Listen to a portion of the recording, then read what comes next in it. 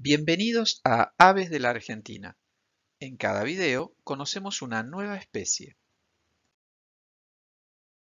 El piojito gris es un pequeño representante de la familia de los tiránidos, de apenas 8 gramos de peso, que podemos observar en gran parte del centro y norte del territorio continental de Argentina.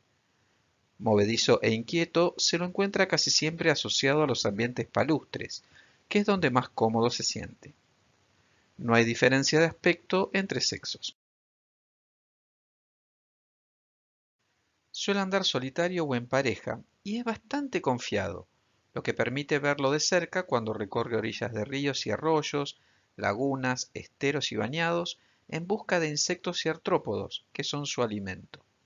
Mientras caza, no duda en patrullar la orilla del agua por el suelo, sobre la vegetación flotante o entre las plantas que crecen en los bordes, también recorre rocas, alcantarillas, muelles y otras obras humanas, y puede trepar por ramas y troncos, pero no va más allá de los 3 metros de altura.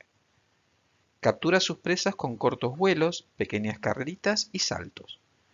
En su identificación, vale la pena recordar que tiene la costumbre de abrir y cerrar la cola repetidamente.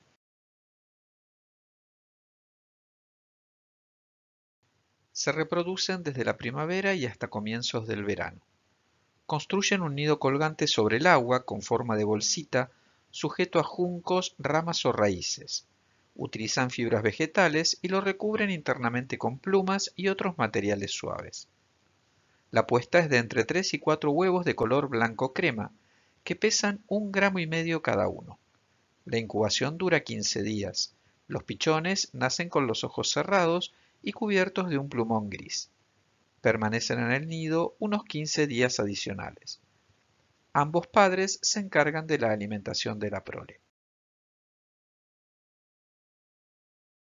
¿Te gustaría ayudar a la protección y la conservación de las aves silvestres? Te invito a que visites la siguiente página para conocer más.